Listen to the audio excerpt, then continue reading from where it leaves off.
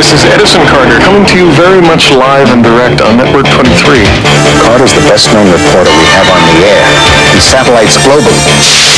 Where does all this stuff come from, Bryce? The components of Carter's mind. Oh, Max, Max. People translate it as data. It's computer generated, whatever it is. It looks like Edison. Max. Max Headroom. Max? He's a computer generated person based on you. Two lines, but with one single letter.